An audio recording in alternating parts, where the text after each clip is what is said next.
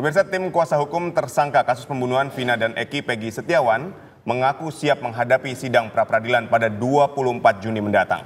Tim kuasa hukum juga akan menyurati sejumlah institusi guna mengantisipasi adanya keberpihakan hakim tunggal dalam sidang pra-peradilan.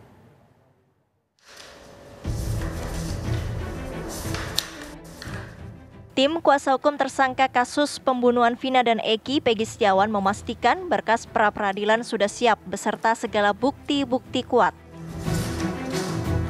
Amunisi kuasa hukum Pegi kian bertambah dengan jejak digital antara Pegi dan rekannya yang menegaskan bahwa Pegi tak berada di Cirebon saat peristiwa pembunuhan Vina dan Eki terjadi. Di sisi lain, tim kuasa hukum juga melakukan langkah preventif guna mengantisipasi adanya keberpihakan hakim tunggal dalam sidang pra-peradilan.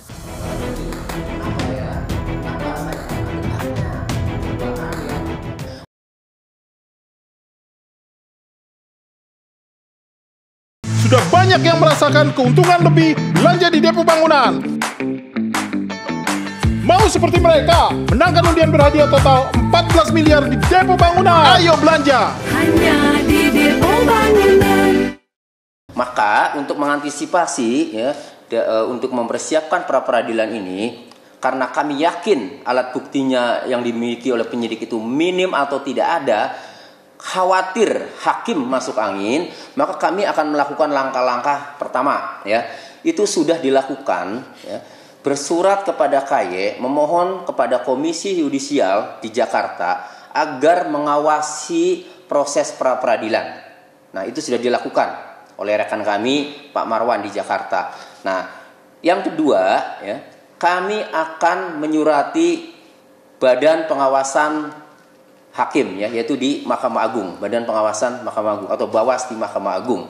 Tujuannya sama, agar ya Badan Pengawasan Mahkamah Agung ini memonitor, mengawasi proses pra, pra peradilan agar dipastikan pra peradilan ini bisa berjalan fair.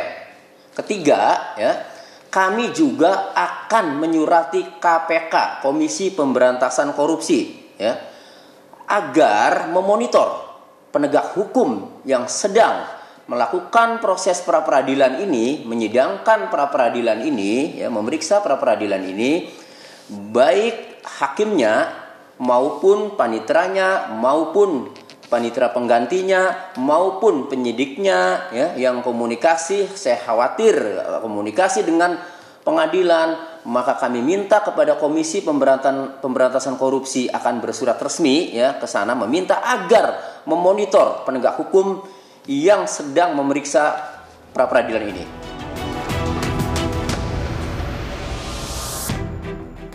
Sidang pra-peradilan Pegi Setiawan dijadwalkan akan digelar pada 24 Juni mendatang di Pengadilan Negeri Bandung, Jawa Barat. Tim TV One mengabarkan.